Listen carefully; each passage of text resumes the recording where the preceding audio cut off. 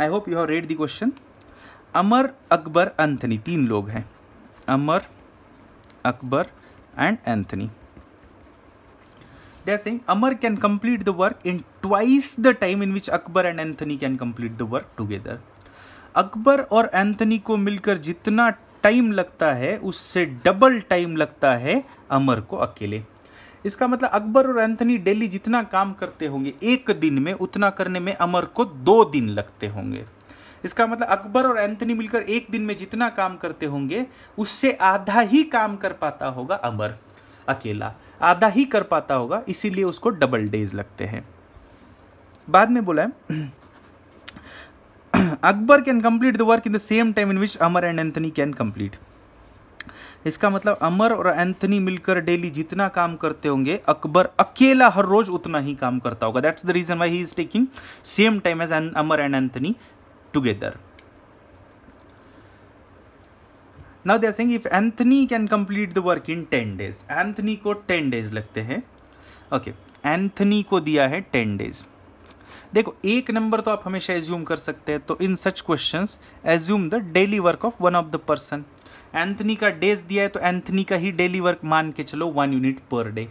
मान लेते हैं डेली एंथनी वन यूनिट करता है और उसे दस दिन लगते हैं तो therefore you will understand that the total work must be one into ten that is ten units क्योंकि एंथनी डेली वन यूनिट कर रहा है, ये हमारा एजम्पन है, और उसे दस दिन लग रहे हैं तो दस इंटू एक मतलब टोटल वर्क टेन यूनिट्स का रहा होगा। They said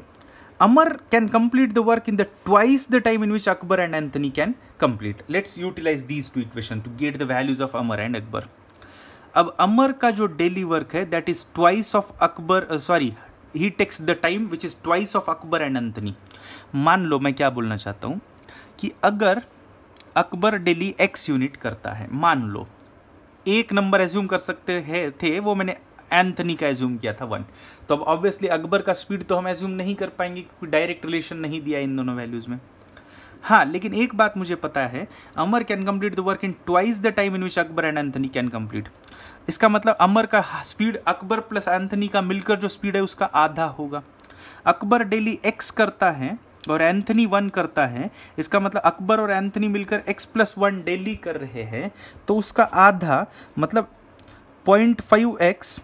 plus zero point five इतना ही कर पाता होगा Amar. Daily point five x plus point five unit x plus one by two का आधा। अब एक्स पता नहीं है, लेकिन वो अगले इक्वेशन से हमें मिल जाएगा। What they saying is Akbar can complete the work in the same time in which Amar and Anthony can complete the work मतलब अकबर का डेली स्पीड जो है x that is same as Amar plus Anthony this x is same as Amar plus Anthony Amar is point five x plus zero point five and Anthony is one तो अमर और Anthony मिलकर daily जितना काम करते हैं, अकबर अकेला उतना करता है। तो अब आप ध्यान से देखोगे तो x equal to point five x plus one point five या ये सब ट्रैक करेंगे तो point five x is one point five या x की वैल्यू थ्री अब x की वैल्यू थ्री इसमें रखते हैं तो this will be one point five plus point five मतलब two this is three and this we know in any ways one now they are asking how many days Amar and Akbar takes to complete the work Amar and Akbar अगर मिलकर काम करेंगे तो daily अमर two unit करेगा और Akbar daily three unit करेगा तो three plus two मिलकर दोनों डेली फाइव यूनिट्स कंप्लीट करेंगे और टोटल वर्क टेन यूनिट्स का है. तो the time that they will take is ten by five that is nothing but two days. So they will only take two days to finish the work.